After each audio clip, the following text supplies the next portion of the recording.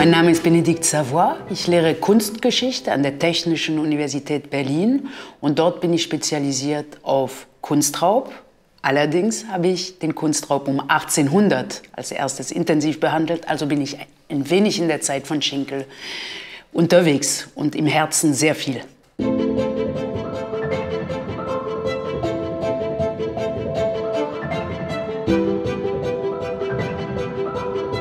Gibt sicherlich unterschiedliche Faszinationen, je nachdem, wie man drauf blickt. In meinem Fall ist das erstens die Faszination einer Ausländerin, also von jemandem, der, die nach Berlin kam, kommt und äh, zunächst überhaupt keinen Zugang zu diesem Osten hatte, also ein wiederentdecktes Etwas.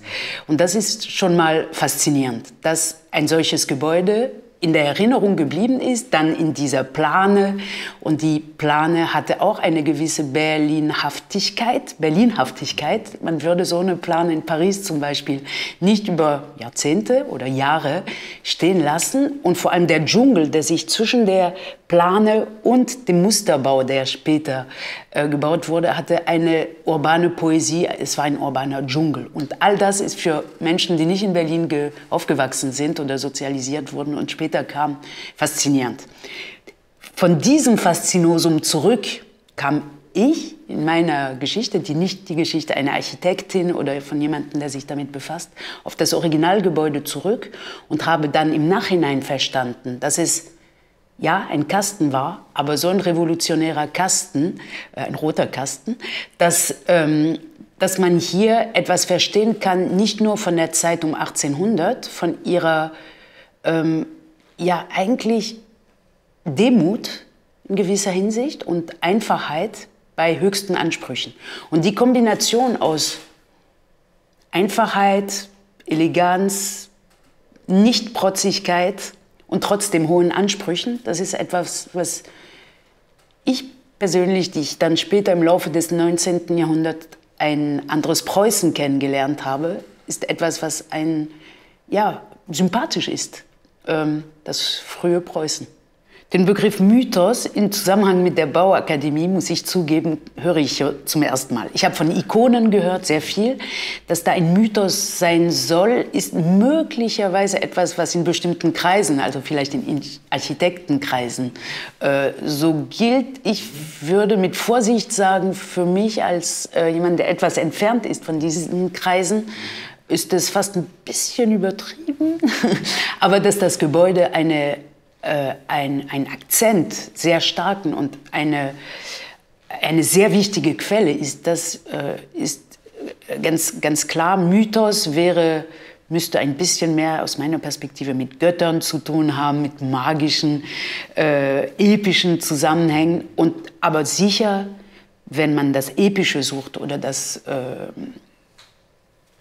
auch Apokalyptische sucht, äh, dann ist sicher die Geschichte des 20. Jahrhunderts, auch die, der Zerstörung dieses Gebäudes, äh, ein Teil des Mythos, des Mythos von etwas, was zwar abwesend ist im physischen, räumlichen äh, Stadtgefüge, aber sehr anwesend geblieben ist in den äh, Köpfen. Und wenn man die Theorien des Gedächtnisses, äh, wenn man denen glaubt und äh, weiß, dass ähm, nach fünf Generationen bestimmte Formen von Erinnerungen verblassen, wenn etwas abwesend ist, dann kann man sagen, ja, es gibt eine Beharrlichkeit in der Erinnerung, die nicht zufällig sein kann.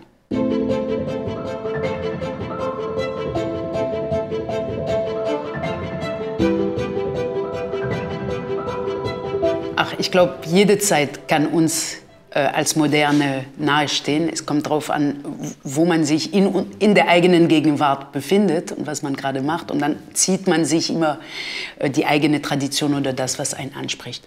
Aber es ist ganz klar, was äh, Schinkel insgesamt angeht, dass auch sein Museumsbau äh, am Lustgarten, also dieses alte Museum, was damals 1830 neu war, ähm, etwas im Vergleich zu anderen Museumsbauten der Zeit etwas sehr Schräges hatte auch in dieser Einfachheit, in der Kombination zwischen dem Quader und der äh, Rotunde, das war eine geometrische Einfachheit, die auch Besucher aus dem Ausland, gerade Franzosen, sehr äh, aufgefallen ist.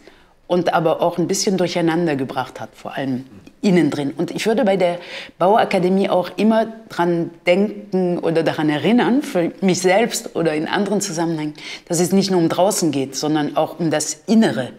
Und dieses Innere ist natürlich aus unserem kollektiven Bewusstsein bestimmt mehr verschwunden als das Äußere, weil das Äußere nicht zuletzt durch diese Plane äh, wieder ja, in unseren Köpfen ist.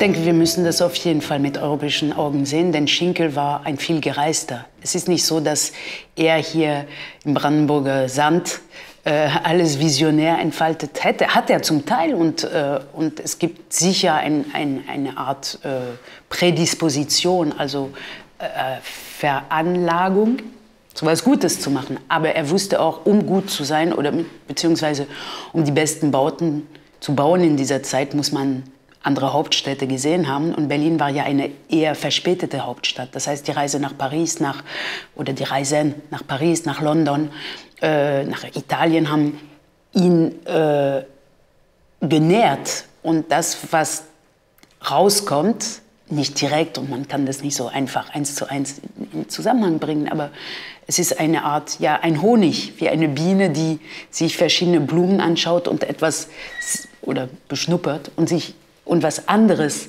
daraus produziert. Und deshalb ist dieses Gebäude sicher ein Kondensat von viel Gesehenem und die Modernität daran hat ganz bestimmt, und da spreche ich als Laie, aber äh, so vom Gefühl her sehr viel mit der frühen Industrialisierung auch in England zu tun.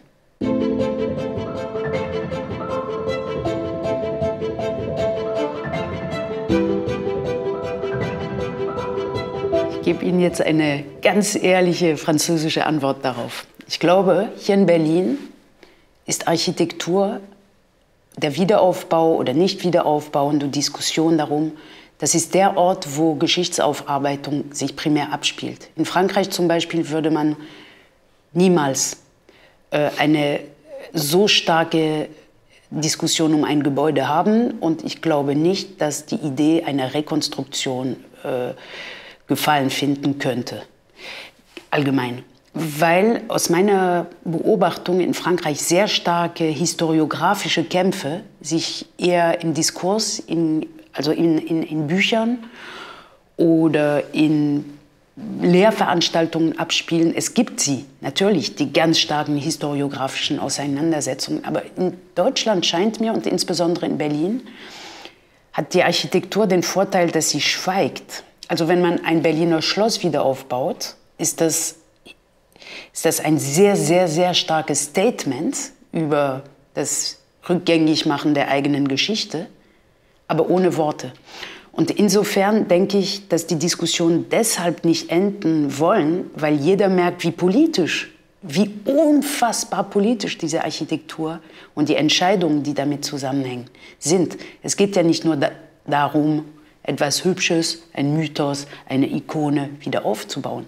Damit hängt in der berlinischen Tradition eine ganze, sehr starke ja, historisch-politischer ähm, äh, ein Statement damit zusammen. Und die, die, die, die unmittelbare Nähe vom Berliner Schloss, das ein Trauma der Berliner Geschichte des 21. Jahrhunderts äh, ist und bleiben wird, eine, eine, eine, eine Fehlentscheidung, eine, Fehl, eine krasse, von allen mit Liebe getragene Fehlentscheidung oder vom Bundestag. Es gab Gegner, aber sie ist und erst jetzt ähm, wird deutlich, wie gut das war, diese im, im Stadtgefüge da etwas zu haben, aber wie schwierig das wird jetzt, auch politisch, damit zu, zu leben, wie, wie schwierig es sein wird, auch für unsere Kinder und Enkel, äh, damit in der Mitte der Stadt zu leben. Und diese Nähe und dieser Präzedenzfall äh, führt dazu, dass die Diskussion um die Bauakademie, die ohnehin schon da waren und ohnehin schon kompliziert waren, jetzt noch sensibler sind, weil man, wer auch immer, keinen Fehler machen will oder nicht erneut einen Fehler machen möchte. Und das ist aber für die Kunst für die Bauakademie, und das ist aber für die Bauakademie möglicherweise ähm, nicht gut, dass dieses, diese schlechte Rekonstruktion stattgefunden hat in so unmittelbarer Nähe.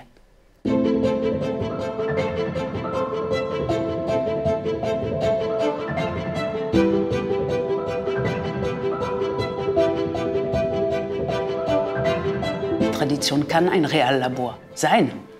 Und wie? Und wenn man die sogenannte Tradition, die mit äh, vielleicht negativen Konnotationen in manchen Gegenden unterwegs ist, wenn man die sogenannte Tradition als eine vergangene Gegenwart ansieht und sich anguckt, was war das, wie haben die gebaut, wie ist das gemacht worden, mit welchen Mitteln nicht, also mit welchen Mitteln, die wir heute haben und die wir möglicherweise morgen nicht mehr haben werden, äh, ist damals gebaut worden etc. Daraus kann man ein Mega-Reallabor könnte man machen. Also ich könnte mir vorstellen, dass man entscheidet in der Mitte Berlins irgendwann, es muss nicht jetzt sein, das könnten auch die künftigen Generationen sein, aber dass man sagt, so, lass uns jetzt exakt das so bauen, wie Schinkel das gemacht hat, und zwar mit den Materialien. Und die Materialien lassen wir auch backen ähm, in der Gegend hier, das wäre lokal. Äh, und dann machen wir das mit Menschenkraft und nicht mit Maschinen, vielleicht ohne Öl und ohne Elektrizität und mal sehen, was man damit erreicht und wie lange das dauert. Und, und dann nimmt man sich auch die Zeit, die man braucht dafür und dann wäre das eine Form des Lernens, äh, die eine andere wäre als, äh, als Parolen, als, als Sprüche. Das wäre wär ein Lernen der Praxis.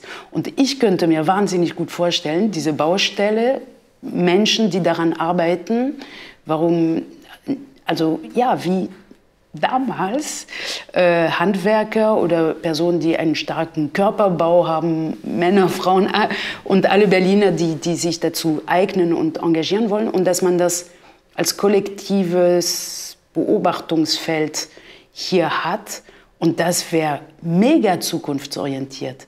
Also für mich ist das ungefähr die einzige Lösung, wenn man es jetzt machen will. Und ich bin momentan sehr viel in Gedanken und manchmal auch wirklich in afrikanischen, westafrikanischen Ländern unterwegs. Dort wird immer sehr, sehr gelobt, von uns aus, von Europa aus.